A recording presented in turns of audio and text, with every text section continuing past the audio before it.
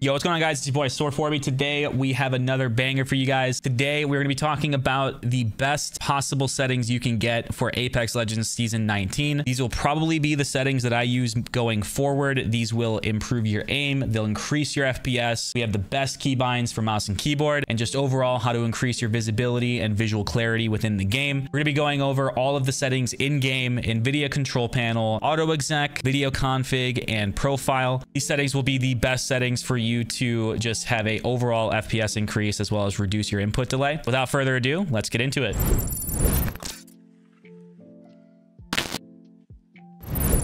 So to start off, we're going to go with the compact interact style compared to default. The reason we want compact is because when you're hovering over items and such, it will have a smaller on-screen HUD as opposed to default where it'll take up a lot of your screen. Button hints we want to have off um, just so we don't have, well, I guess this is personal preference, but I have this off. It will show hints under each of your abilities. So your healing, your ultimate, your Q, or your tactical ability rather, your um, your survival slot, your grenades, etc. Um, I have that off just because I know what my my binds are and it looks a little bit cleaner personally. Crosshair damage feedback, we want to have that off. Damage numbers, this is personal preference. I have this set to stacking personally, but some people have them set to floating or both. I keep it at stacking. Ping opacity, we want that on faded, uh, just so it's not full ping, you can see through it.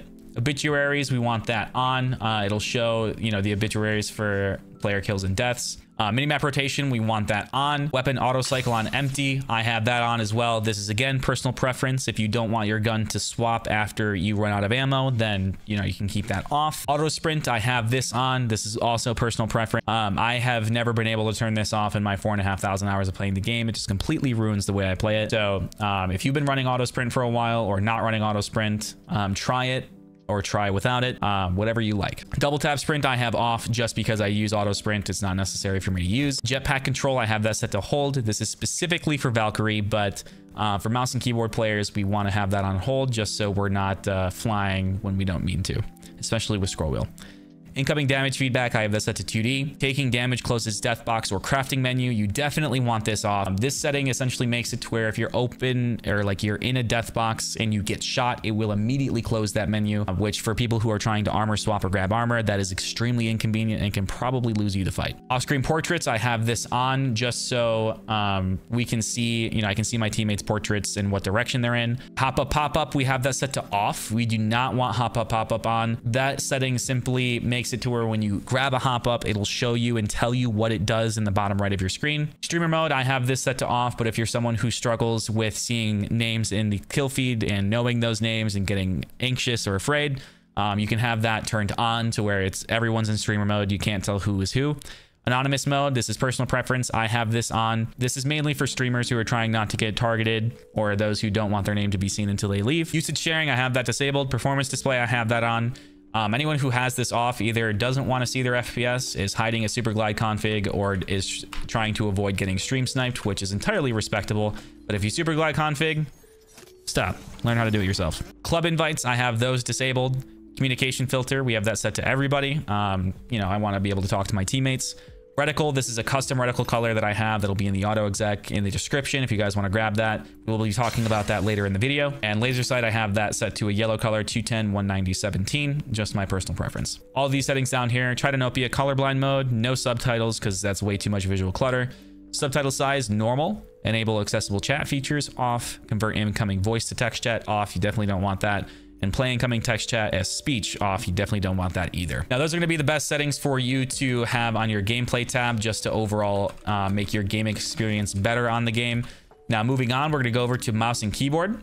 I guess we'll start off at the top at sensitivity. This is entirely personal preference and what you're comfortable with, but as of lately, I've been playing 0.86 1600 DPI with a 1.0 ADS and then a per optic gradually getting faster as you go up um, just to try and, you know, even out the uh, the speed so that it feels relatively consistent throughout. Mouse acceleration, you want that off for sure. Mouse invert, you want that off. Clamp mouse cursor to game window. I have it off, but for some people it works with on. It just makes it to where your cursor can't leave your game, which can be really annoying with some scenarios, especially if you have two monitors. Lighting effects, I have that off as well. And then all of my keybinds we will get into. Um, most of them are default aside from the scroll wheel up tap strafe and the scroll wheel down um, jump. Um, the only other binds that I have that really aren't default are left shift walk, which I'll get into in a little bit, as well as inspect weapon on mouse button 5 and push to talk on mouse button 4. Otherwise, everything is pretty much um, pretty much default settings. You know, I have the toggle crouch set to C for my super glides and then uh, hold to crouch on left control,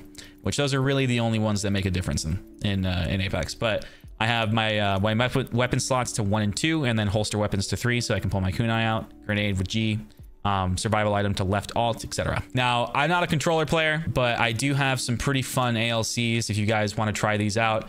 0% um, dead zone, 1% outer threshold, 5% response curve with 500, 500, which is as fast as you can go for yaw speed, but it is pretty fun to play if you ask me. Still has decent aim assist, but like I said, I'm not a controller player. Um, ADS yaw speed, pitch speed, 180, 185. This These were settings that I turned on when I was messing around with a Steam config uh, a while ago. They're actually pretty solid settings in terms of moving around and being able to uh, like like do things and not you know, turn like a turtle, you know?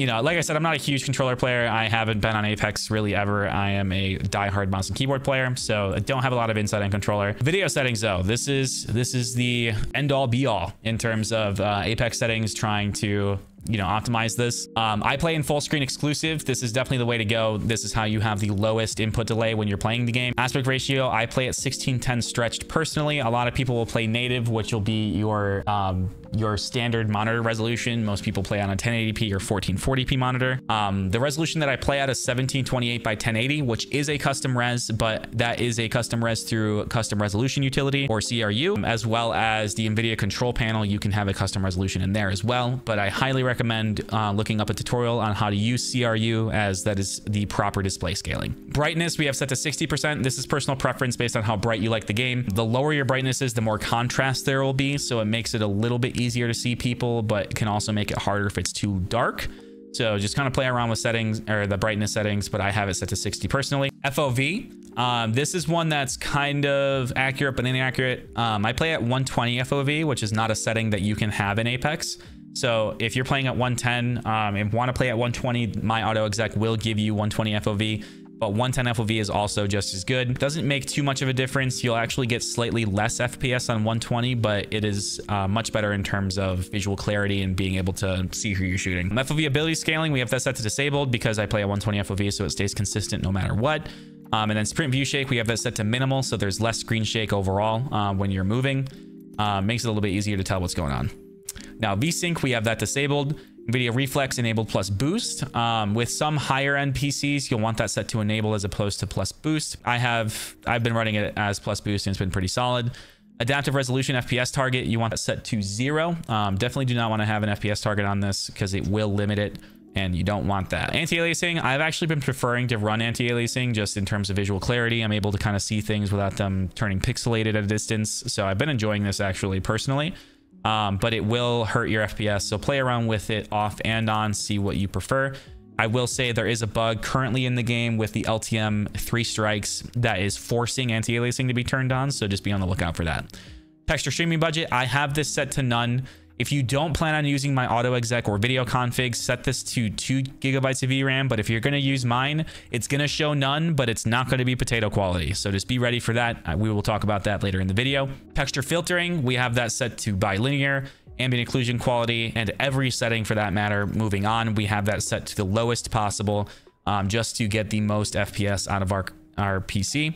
And that's going to be everything for the Apex settings. Um, we have, you know, I've been an Apex player for a long time and I've used a lot of these settings over the course of um, thousands of hours playing the game. And some of them have been changed um, just to, you know, fine tweak those optimizations. So these are what I found to be the best over the course of, you know, my time playing the game as well as getting my PC optimized from a couple of people, and especially one that I recently got them optimized with, who I will talk about later in the video if you guys are interested in getting your PC optimized. Without further ado, let's move on to the files of the game. Uh, we'll be talking about the auto exec, uh, the profile, video config, and settings. All right, so starting off on our desktop here, we are going to go ahead and open our file explorer. Now, if you have your game on your SSD and it's on your main hard drive, if you're playing on EA, you're going to go to program files, EA games, Apex. And if you're on Steam, you're going to go program files x86, Steam, Steam apps, common, Apex Legends, and CFG. Now, for me personally, I play on Origin, so I'm going to go over to my Origin folder. and I'm going to open the CFG tab and that's where we have our autoexec.cfg. If you do not have one of these, then it will just say client. There won't be an autoexec in here. But after this video, you should have my autoexec, which will make your game run better. I won't go through every single setting in this, but there are plenty of settings that make your game run significantly better in terms of visual clarity and just overall FPS and latency increases here. There is a ton of settings. This is the most that I've ever seen in an auto exec personally. Um, so I highly recommend using this in terms of, um, and some of them actually have explanations as to what, you know, makes things better or worse, you know? I highly recommend using this auto exec. It is one of the best auto execs that I've ever used.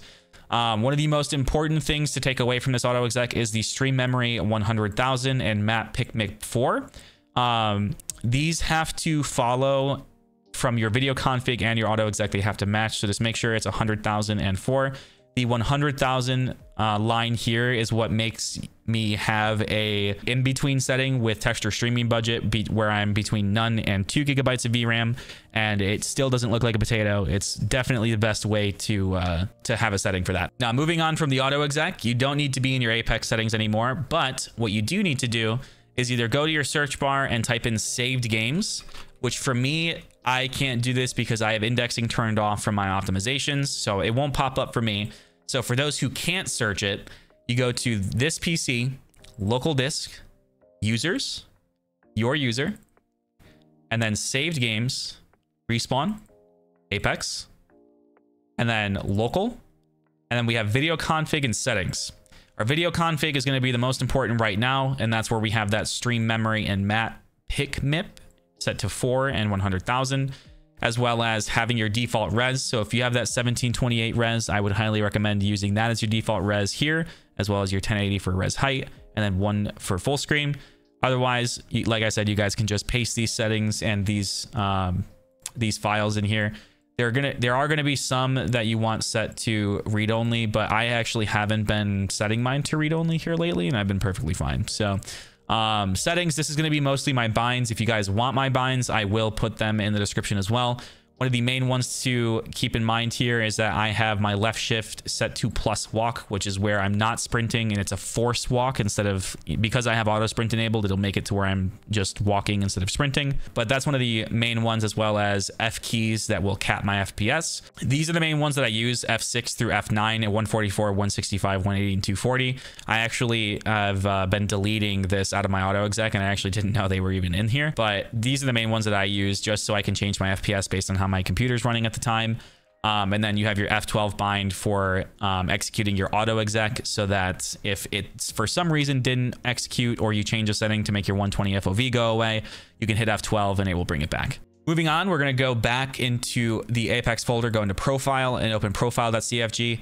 Um, this is another important file to have. Now, there is one very key takeaway to this in that it has the 120 FOV as well as all of my um, like profile settings. So none of these are particularly super important, but you can replace this if you would like to. I do recommend it. You know, I have my reticle color in here. There's some uh, different sensitivity settings in here. So if you like want my uh, my ADS sensitivities, this is one that would help you with that, as well as my reticle color as well. But that's in my my auto exec. So less important for profile. You guys don't have to do this one if you don't want to, but um, if you do want to, there are some settings that will make things run a little bit better. So that's going to be all in terms of the actual files for the video. We're now going to go to our NVIDIA control panel. The These settings are specifically going to be for those who have NVIDIA graphics cards. So if you have an AMD graphics card, I do apologize. I will not have settings for you guys. Um, but where we're going to go is manage 3D settings up here at the top. Go to program settings. And then we're going to click add if you guys don't have R5 Apex already here.